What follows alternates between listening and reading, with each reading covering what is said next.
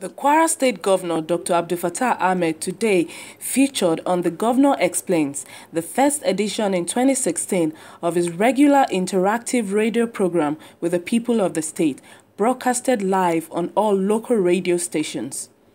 Governor Ahmed spoke on various issues affecting Kwara State, such as the state's financial situation, the 2016 budget, local government workers' salaries, upcoming developmental projects, and other issues relating to Kwara State. Firstly, I want to say a big Happy New Year to my people in Kwara State. I want to also thank God Almighty for His mercies for keeping us alive till today. And um, I want to see how He gives us the strength to continue to drive Kwara State. Uh, alongside other countries that have been put together in the positive direction despite the tough times. Speaking on what Kwarans should expect from the government in 2016, Governor Ahmed had this to say.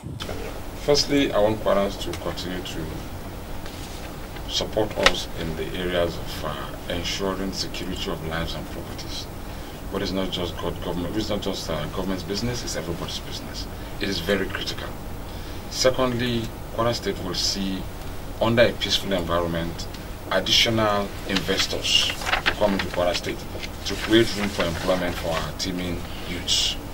Thirdly, there will be improved infrastructure in Kwara.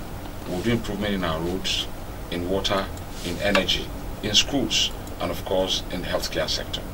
These are some of the areas that we expect Kwara State people to expect to see. But this can only happen under a peaceful environment.